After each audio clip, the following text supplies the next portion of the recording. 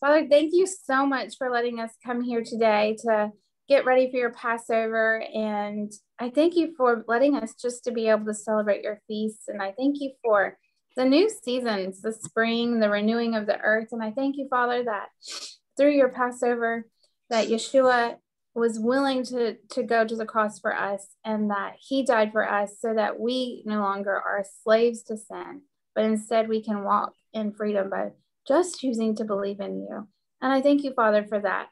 And I pray that you just allow us to just be able to present your feast days to whoever is listening in a way that honors you and um, makes sense. And we ask that you will help us to only teach truth. And we surrender the children's ministry here to you and ask that you bless it. In Yeshua Messiah's name we pray. Amen. Amen. All right. So, Miss Mary Jane, I believe, is going to start. All right. So, we've been talking about the events leading up to Passover. And um, we left off last week with them being at the Last Supper and Yeshua telling the disciples that, you know, my time is coming. I'm going to be leaving here, gone from you guys, and you will all lose your faith. And it says in scripture that, or Yeshua said, Tonight you will lose your faith because of me. It is written in the scriptures this is a prophet, right? Had written in the Torah. I will kill the shepherd and the sheep will scatter. So the sheep are the disciples that they're referring to, and they'll all scatter because the shepherd, Yeshua, will be killed. But after I arise from death, I will go ahead of you to Galilee. So Peter, in response to Yeshua saying this, he says, Well, no, I'll never lose faith in you. And Yeshua tells him, I tell you, it's true. Before the crow uh, the crow we did this last week oh, before yeah. the rooster crows three times i tell you you will, or you will deny me three times before the rooster crows so that's kind of where we left off last week so mm-hmm. the next events that happen is um and this is the same or sorry so the next event that happens is yeshua takes three of his disciples to the garden of Gethsemane. Gethsemane? Gethsemane. Gethsemane. Gethsemane. Um, and this story that I'm talking about is reflected in um, three different books. It's reflected in Matthew, Mark, and Luke. And so Yeshua goes to the garden with his followers. He tells the disciples to wait for him. So he takes James, John, and Peter with him to pray.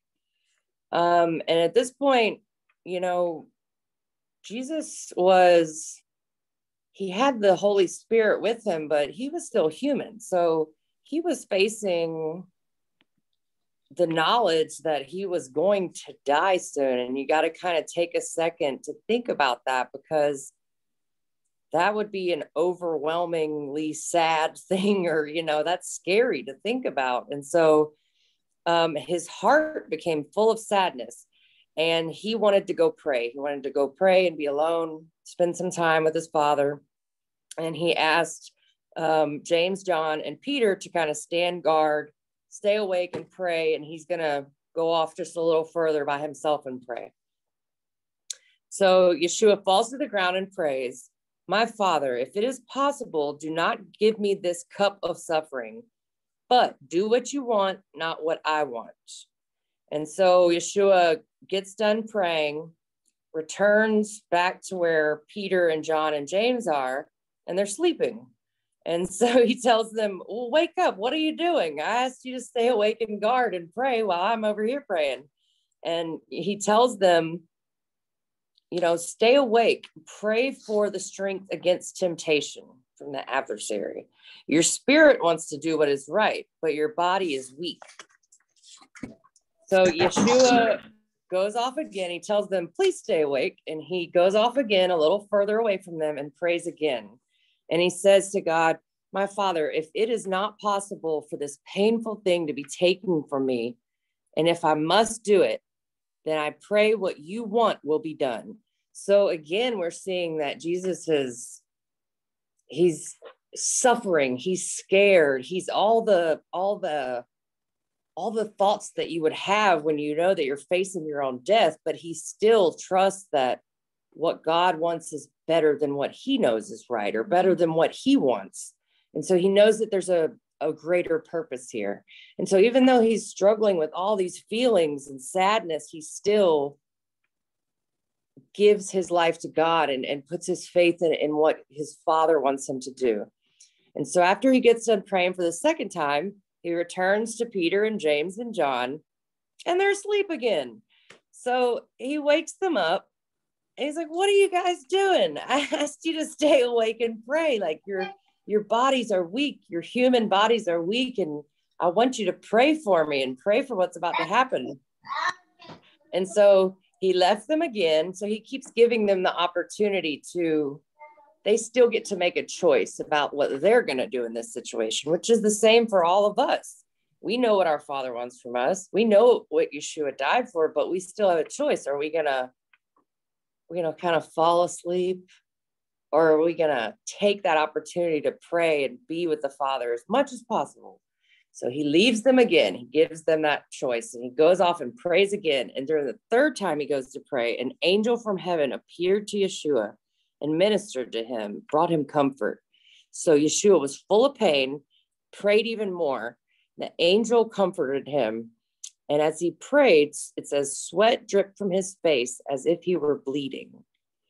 And then the next thing that happens is going to be are you doing it or Danielle? Miss Danielle. Rest. So from this point on, hold on. Let me just, I'm going to look at y'all's faces when I do this. Well, that's really intense, right? He's praying. And I mean, how many of you have ever sat and somebody asked you to stay awake and you just like slowly start to drift off and you're like, I can't do it. My eyes just can't do it. Right? Yeah. That's kind of what what the disciples were facing. Like i know this is really important yeshua. I know you've asked me to to be awake but i just i can't do it. So obviously yeshua's a little you know he understands. He says i understand your flesh is weak but come on. Um but we know what happens next. Yeshua says time has come. And when i read that part i can almost it's almost like you can sense like the, the atmosphere changes. You know how sometimes like you're just kind of going through your day and something happens and all of a sudden you're like laser focused you're like whoa something's happening. And i can just imagine that yeshua says the time has come and that all the disciples go oh something's happening. So one of the disciples um had a plan, right? He was going to betray Yeshua. So he went off after the Passover, after Yeshua said, "Go do what you go do what you need to do." And he comes back with some of the temple leaders and some other men to arrest him. Uh, do any of you remember how he how he does that? How does he point out who Yeshua is? Havilah. He kissed him on the neck. Yes, he gave him a kiss. That was the sign that he is Yeshua. And some other scriptures actually say that it is um, that they just ask, Who is Yeshua? And Yeshua says, Right here, right here.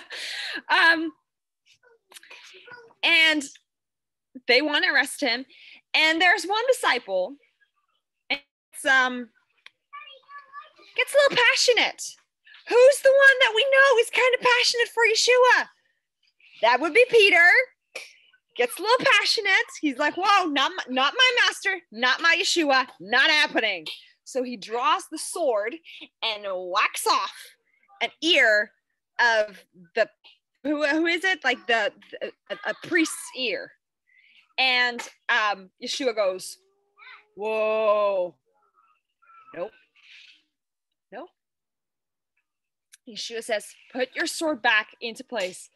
All who use swords will be killed with swords. Surely you know if I could ask my father, and he would give me more than 12 armies of angels, but this thing must happen this way so that it will be as scripture says. So, you know, I, I can imagine the, the, the people being, what? I don't, uh, what? what? What just happened?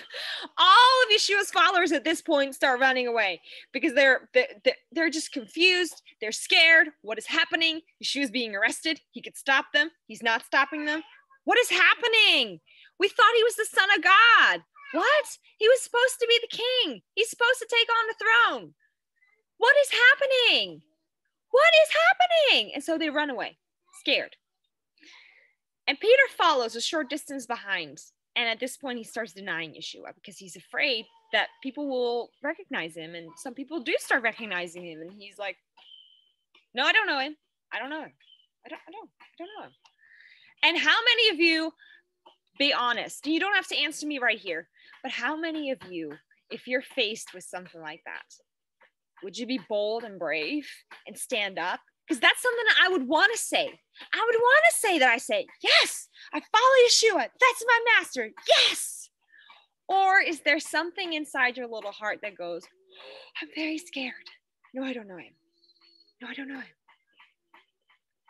That's called self preservation. That's the flesh that was trying to keep yourself safe because it knows, oh boy, oh, and this is where Peter shows his humanity. Peter has been following Yeshua so passionately for all these years. But now he goes, mm, don't know him. Nope, I don't know him. Nope, I don't know him. Anyway, so at this point, Yeshua has been brought before the high priest, um, you know, the temple leaders, and they start accusing him of things. And the people lie, they can't find anything, but then Yeshua says something. And he says, um, when Yeshua's asked,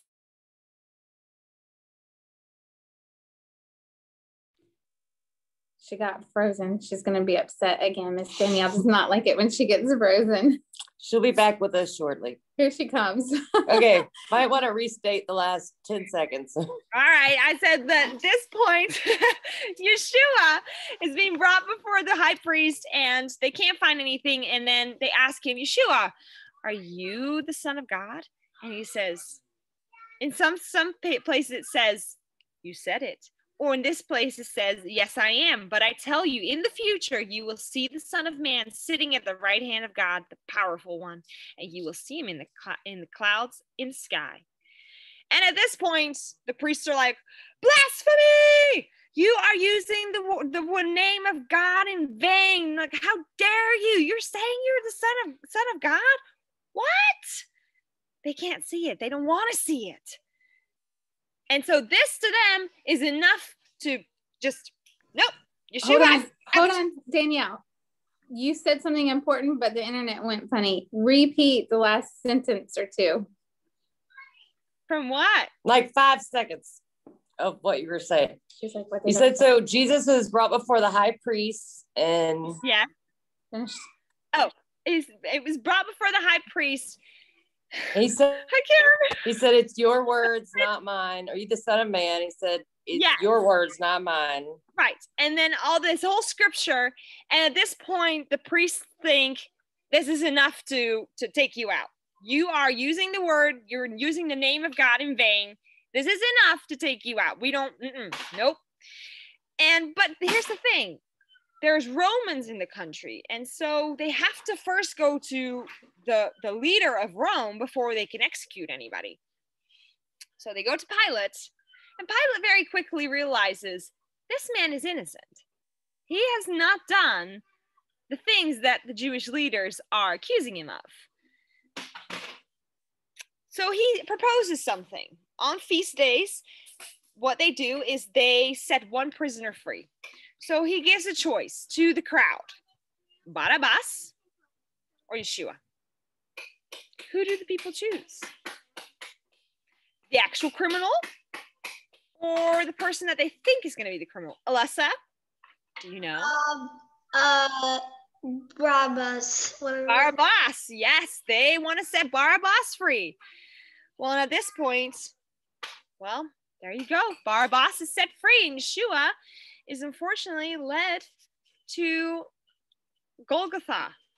and I think from here on, Miss Katie is going to take over. Yeah. So um, when when Pilate um, said, you know, I don't, I don't want to do this, or are you sure? He he he didn't feel like Yeshua had anything, or Yeshua had done anything wrong. And even while Yesh, um, Pilate was talking, his wife came to him and said, you know, I had a dream. Don't mess with that man. You don't, don't, don't mess with that man. Don't, don't sentence him to death. So Pilate washed his hands in water, saying, like, this is on this. I wash my hands of this. This is what you guys want. I take no responsibility. And so he tells the the soldiers, beat him, beat him, and take crucify him.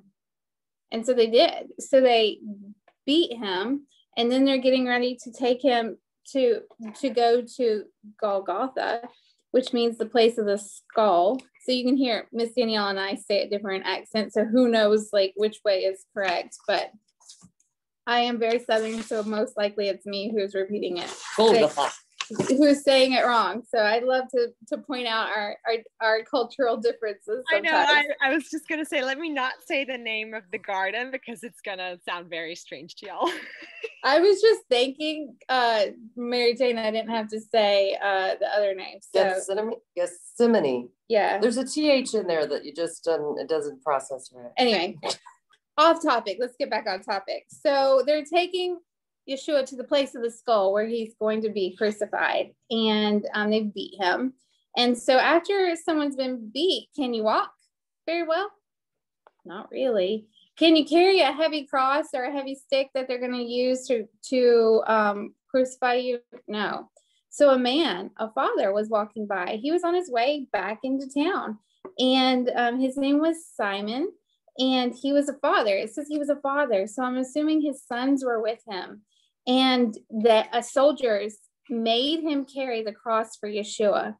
And I was just sitting there thinking about that, what it would be like, because soldiers are scary, especially if they're in this mob mentality and they're someone's getting arrested and they're like, carry carry this cross for him. And you know, they might not have been been very nice to Simon either. And his children probably had to follow. And um, he had to take the cross for Yeshua to the place where he would be crucified.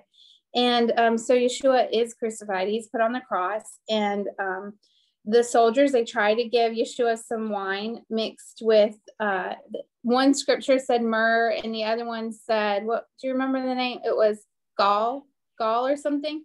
So they tried to give him something like that, but Yeshua refused to take it.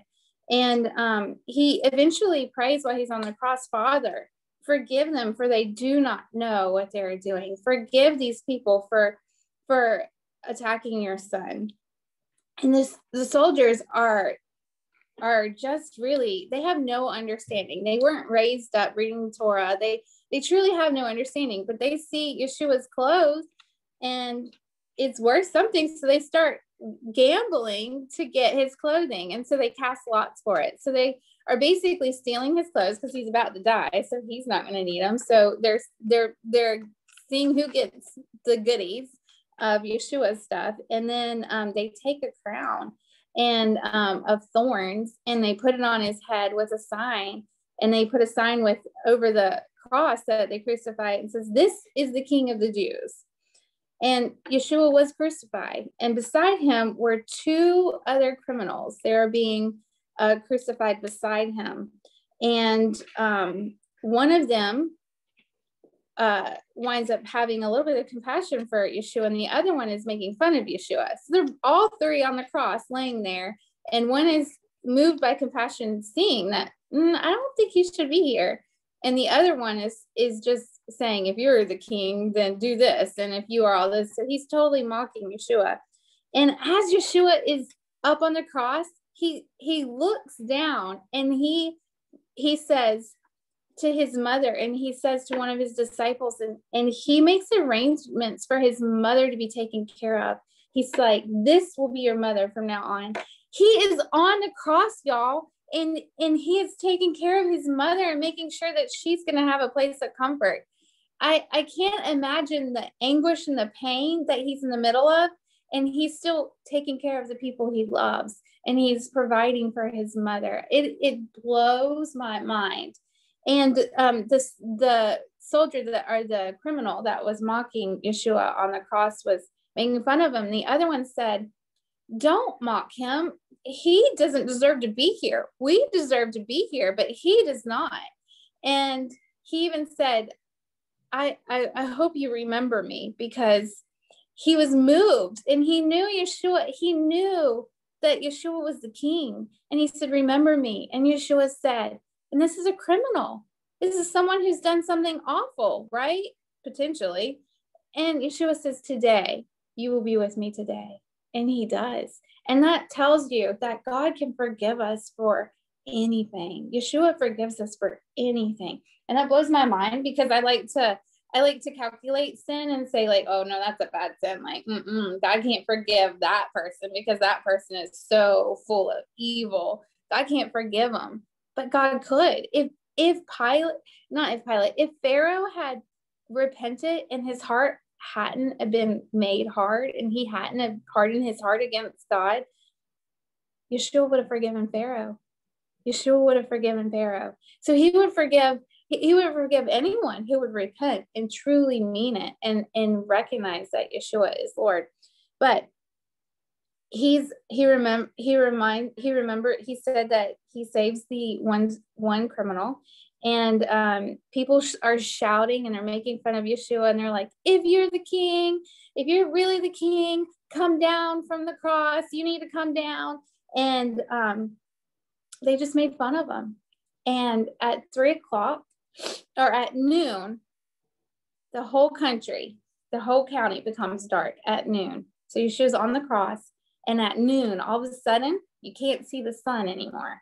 It's blot out. All of a sudden, it gets dark. And this darkness lasts for three hours. It's dark for three hours. Like in the middle of the day. In the middle of the day. And I know you guys have experienced an eclipse before, but when we have a total, when we had that total eclipse, do you guys remember about how many minutes it lasted? The darkness lasted. Depends on where you were in the country. I know for us it was like twelve minutes. Because in in it the the I guess like the longest point of it was in Columbia, South Carolina. It was like 15 so minutes, just like minutes. So not hours. Mm-hmm. Alessa, do you have something you want to say? No, I was thinking that maybe the darkness lasted until he died or something like it that. It did. It did. It lasted for three hours. But I just wanted to just remind you that just recently we've had an eclipse. That was when the moon or the sun, I don't know which one it was, but the, the I think the moon the went in front of the, yeah. yeah, the moon covered the sun and we had total darkness.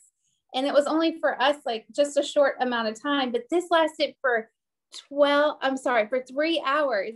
And like when darkness comes and there is no um, sun like you'll hear the crickets you're going to hear all the night things start. So for three hours it was like it was like dark it was like midnight. And then yeshua cries out in the midst of that and he says um, he's thirsty. And someone offers yeshua a drink from off of a sponge and a stick and then he cries out again and he says it is finished. And and um, different different gospel says that he says different things but it is finished. And then he breathes his last breath and it is done. And at that moment not only is it dark but all of a sudden the curtain in the temple is ripped into two. Rocks the earth and the rocks shook and broke apart. So an earthquake occurred graves open, and many of God's people who had died were all of a sudden raised again and were walking the earth. And the events were recorded, and it happened in such a way. The guards who were guarding Yeshua were looking and they looked up and they were like, they were convinced they had just done something wrong. They were like, this is the king. This is truly the king and they just were. I can imagine the weight and the gravity realizing that all of a sudden that you participated and helped crucify the king and all this stuff happens. And so it's getting later and they have to get ready for shabbat. They have to get ready for uh, passover to ha- or shabbat to happen and they don't want to leave these criminals up. And so uh, the criminals beside them they haven't passed but yeshua has. And so they they go and they they go to break the criminals, the two other men's legs, and they were going to do it to Yeshua. And they said, no, no, no, don't do that. And instead, they pierced his side where blood and water came out. And it actually fulfilled scripture when this happened. And in Exodus 12, 46 and Psalms 34, it'll say none of his bones will be broken. None of Yeshua's bones are broken. And also in Zechariah 12, 10, Revelations 1, 7, and Psalm 22, verses 16 and 17, they basic it says that they will look at the one they pierced and his, you know, and they pierced him. And so when they took it, then they took the they took them down, and Joseph, a Sanhedrin, asked. He was one of the priests, part of the priests, but he didn't agree with um, Yeshua being crucified. He he was he asked for Yeshua's body. So this man, family or people he's he's working with, people he's serving with, crucified Yeshua, and he and he's moved with compassion, and he didn't agree with it, and he says, I want to provide a proper burial for him because we did wrong to him. And I'm going to try to do a little, I'm going to honor him now. And so he takes his body to bury it. Yeshua was laid in a tomb. I think it also said that, um, oh gosh, I just, ne- Nehemiah? Nicodemus. Nicodemus came and brought like herbs and what all was it, Danielle? Um, that we read in play, like sweet smelling perfumes and spices for his body. Yeah. So Nicodemus comes and brings all this stuff, and they go and they anoint his body. They prepare it for burial, and they um, put him in a tomb. He was laid in a tomb that was cut out of a rock, and they rolled a stone in the um, against the entrance of the tomb, and Yeshua died. And you know his followers they had scattered, or some watched from afar. They're afraid they didn't understand what has happened. Um, they were just beyond themselves because they thought he said he's the king, but he just died. Like we said before, they expected Yeshua to come with swords and to fight the Romans and put them down. But Yeshua said, He who dies by the sword, who he who fights by the sword will die by the sword. And Yeshua went to the cross like a lamb, being led to slaughter just like they did at Passover, where they took the Passover lamb and they they killed it and they put the door the blood on the doorpost. Yeshua was willing to be led to be crucified for his blood to be poured out so that if we do like Abraham and just believe, we will be given righteousness. All we have to do is be like the father of our faith and believe in Yeshua. And Yeshua died so that we can take supernaturally take the blood and, and place it on our heart so that we no longer have to be slaves to sin. So he covered us. He covers us so that we no longer have to be separated from God from the law of sin and death by just believing. So we go back to our like Abraham, our father of our faith, and we believe and we are given all the things that Yeshua deserved. We deserve none of it. And all we have to do is believe. Now, for me, this is the saddest part of the story. It's, it's exciting, but it's sad because they crucified my king and he was beaten and he was bruised and he did all this stuff. But it's so cool how, in so many ways, it represents the Passover Seder, the Passover that we're supposed to remember what God did by delivering the, the Egyptians out of, the, I'm sorry, the Israelites out of Egypt, Egypt. Getting all confused. So um, it's just really cool that he uses all these things to symbolize, and it just, if you look for it, you see Yeshua in the feast. You see Yeshua in the scriptures, and he fulfilled it. And he went to the cross. He was very sad to do it, but he did it anyway because he loves us. Um, the other thing, guys, if you think about it, you know, w- the reason that we're talking about all of this is because we know the next part, right? Yeah. We know the next part.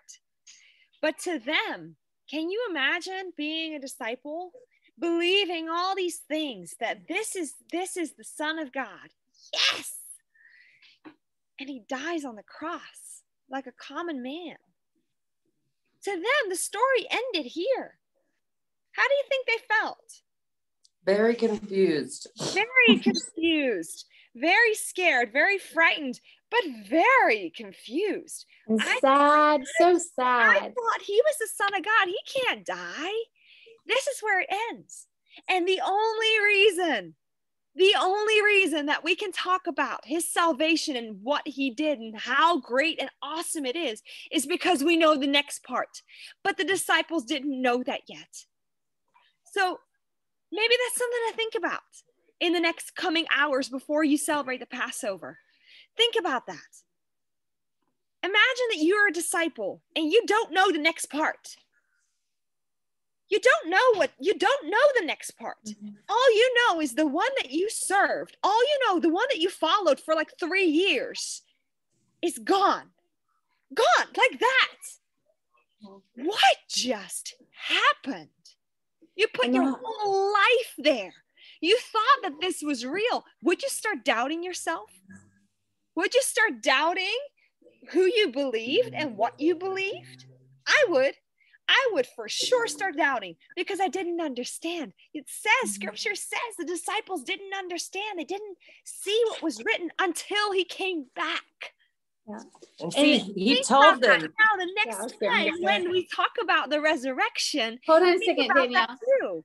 Danielle. you oh, like he told them at the dinner that tonight you will lose your faith because of me.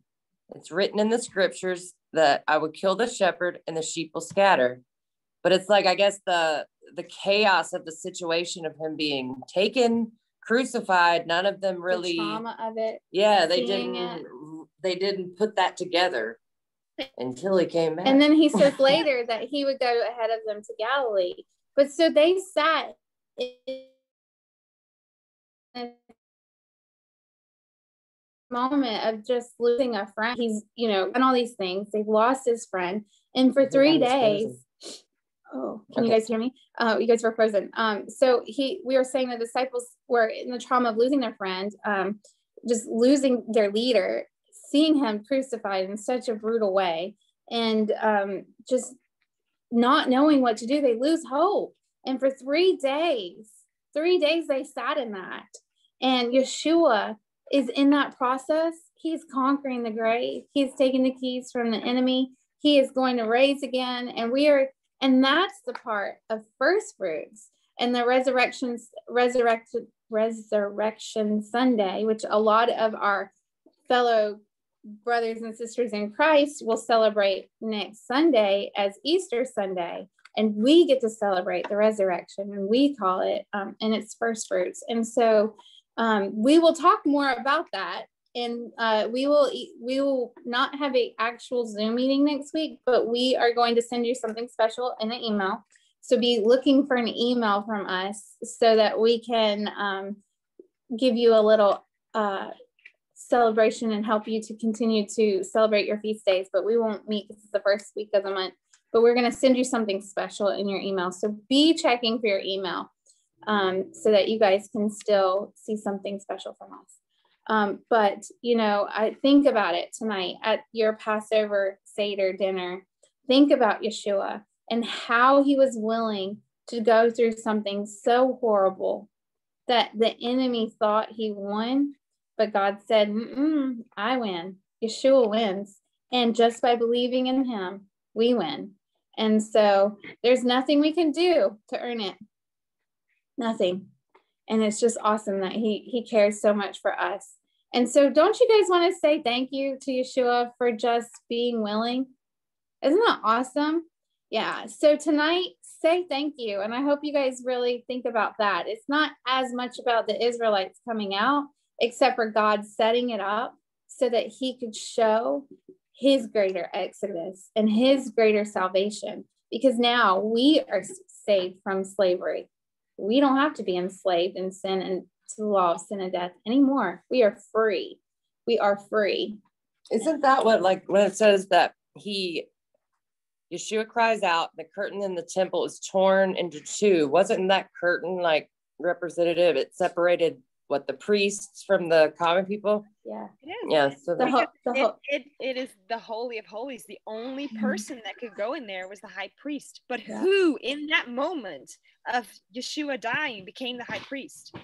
Him. And later he says, You can only get to the Father if you get through me. I am the Mm-hmm. door.